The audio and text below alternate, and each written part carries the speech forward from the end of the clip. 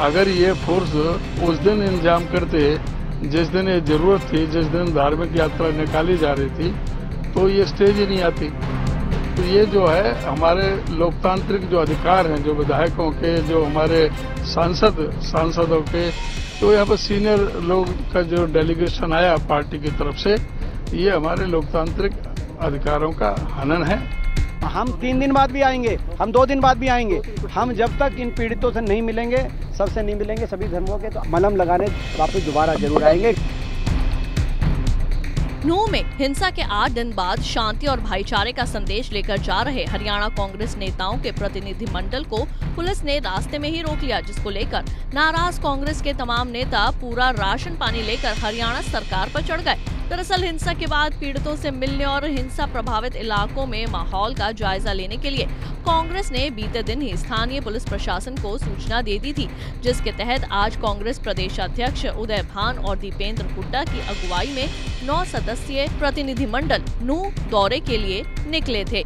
लेकिन गाँव बाइक डंडा में पुलिस फोर्स ने धारा 144 और माहौल खराब होने की दुहाई देते हुए कांग्रेस नेताओं को रोक लिया। कांग्रेस के इस डेलीगेशन में उदय भान और दीपेंद्र हुड्डा के अलावा पार्टी के कार्यकारी प्रदेश अध्यक्ष जितेंद्र भारद्वाज, पूर्व मंत्री कैप्टन अजय यादव, विधायक राव दान सिंह और बीबी बत्रा समेत कई अन्य नेता भी शामिल थे। हालाँकि इस मौके पर कांग्रेस नेताओं ने आगे जाने के लिए पूरी कोशिश की, लेकिन जब पुलिस ने इजाज़त नहीं दी तो मीडिया के कैमरे पर कांग्रेस नेताओं ने सरकार पर जमकर भड़ास निकाली। ये हमारा नौ लोगों का डेलीगेशन था और इसके लिए हमने विधिवत सूचना दी थी प्रशासन को डीसी को एसपी को additional DGP law and order को, यहाँ पर सभी को सूचना दी थी। लेकिन ये यहाँ पर जो माहौल बना रखा है कि जो इन्होंने हम सबको यहाँ पर रोक लिया, वहाँ से आगे जाने नहीं दे रहे। तो ये हमारे लिए बड़ी भी अफसोस की बात है कि हम नौ आदमी का डेलीगेशन हुई अगर ये फोर्स उस दिन इंतज़ाम करते, जिस दिन ये ज़रूरत थी, जिस दिन धार्मिक यात्रा निकाली जा रही थी तो ये स्टेज ही नहीं आती। हमारे नौ आदमी के लिए इतनी बड़ी यहाँ पर भारी पुलिस को तैनात किया गया है। तो ये जो है, हमारे लोकतांत्रिक जो अधिकार हैं, जो विधायकों के, जो हमारे सांसद, सांसदों के तो यहाँ पर सीनियर लोग का जो डेलीगेशन आया पार्टी की तरफ़ से, ये हमारे लोकतांत्रिक अधिकारों का हनन है।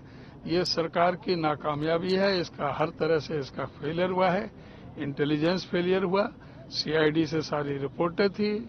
जो सीआईडी इंस्पेक्टर था विश्वजीत, उसका वीडियो भी वायरल हुआ, लेकिन इन्होंने कोई व्यवस्था नहीं की। दूसरा, गृह मंत्री के भी अलग अजीब अजब गजब के जो उनके बयान आते रहे। कभी किसी को क्लीन चिट दे रहे, कभी किसी को दोषी करार दे रहे, फिर कह रहे कि साढ़े तीन बजे तक मुझे तो पता ही नहीं था।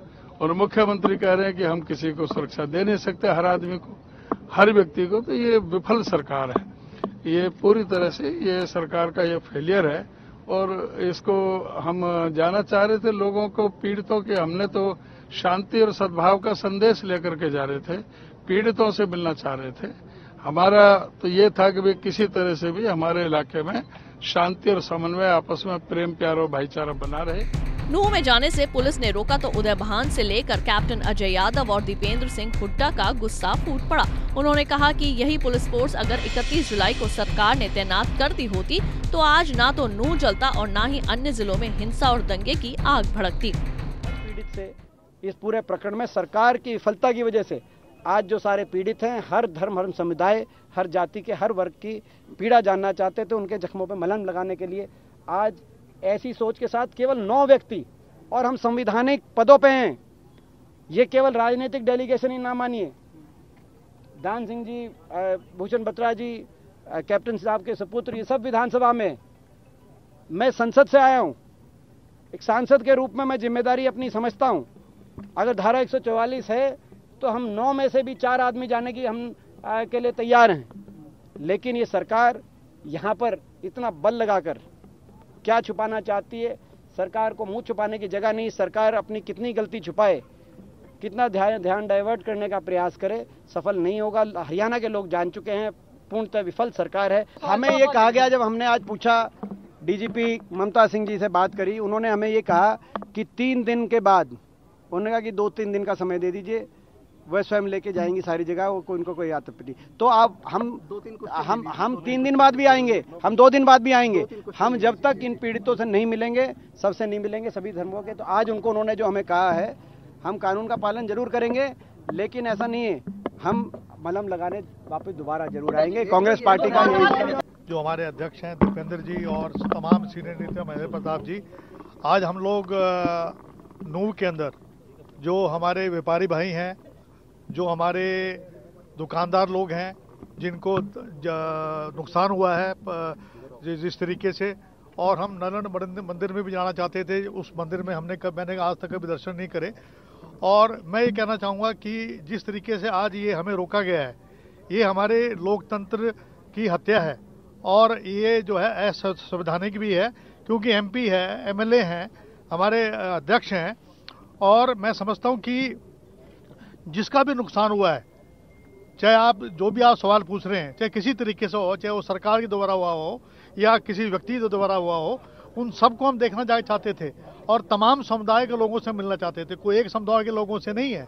हमारा मकसद ये है कि शांति बहाल करना और उस दिन ये जब हर साल दंगे नहीं हुए 2024 के चुनाव को देखते हुए ध्रुवीकरण की राजनीति करने के लिए इन्होंने ये सारा षड्यंत्र रचा रचा भाजपा के लोगों ने मैं आरोप लगाता हूँ भाजपा के ऊपर और मुख्यमंत्री कहते हैं कि भी मैं हर व्यक्ति की रक्षा करना मेरा काम नहीं है। किस बात का पैसा जो है पुलिस फोर्स ले रही है हमें रोकने के लिए ले ले, ले, ले रखी है। ये हमारे लोकतंत्र तांत्रिक जो हमारे अधिकार हैं उसका हनन है। मैं इसकी कड़ी निंदा करता हूँ और साथ साथ होम मिनिस्टर का भी और चीफ मिनिस्टर का हम इस्तीफा मांगते हैं कि आखिरकार जो चाहे हमारे होम गार्ड के लोग हों चाहे वो कोई और व्यक्ति हो उनकी उनकी मौत क्यों हुई? दंगे क्यों हुए?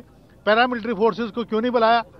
पैरामिलिट्री फोर्सेज जब हर साल ये यात्रा चल रही है, पचहत्तर साल में कभी दंगे नहीं हुए तो ये दंगे होने का कारण क्या है? उसकी तय के लिए हम चाहते हैं सिटिंग जज जो है हाईकोर्ट का, वो बैठे इसकी और इसकी तय करते हैं दरअसल नू में भड़की हिंसा के बाद पूरे ज़िले को चौतरफा सील कर दिया गया है। ज़िले में कर्फ्यू के साथ संवेदनशील इलाकों में भारी पुलिस बल तैनात कर दिया गया है और साथ ही पुलिस प्रशासन के अधिकारी लगातार ग्रामीणों के साथ शांति से बैठकर स्थिति को फिर से सामान्य करने की कवायद में जुटे हैं। बता दें कि हरियाणा कांग्रेस के नेताओं का यह प्रतिनिधि मंडल हिंसा प्रभावित क्षेत्र के पीड़ितों के बीच जाना चाहता था। उदय भान ने बताया कि हमारे नेता नूह, शहर नलहड़ मंदिर और बाजारों का दौरा करने के लिए आए थे, ताकि लोगों से मिलकर शांति और भाईचारे का संदेश दिया जा सके। लेकिन सरकार के इशारे पर पुलिस ने उन्हें नूह में जाने से रोक दिया। नूह से अनिल मोहनिया, पंजाब केसरी टीवी। हमसे जुड़े रहने के लिए हमारे YouTube चैनल को सब्सक्राइब करें और नई वीडियो की नोटिफिकेशन के लिए बेल आइकॉन को दबाएँ। अगर आप ये वीडियो Facebook पर देख रहे हैं तो लाइक ज़रूर करें और ज़्यादा से ज़्यादा शेयर करें। धन्यवाद।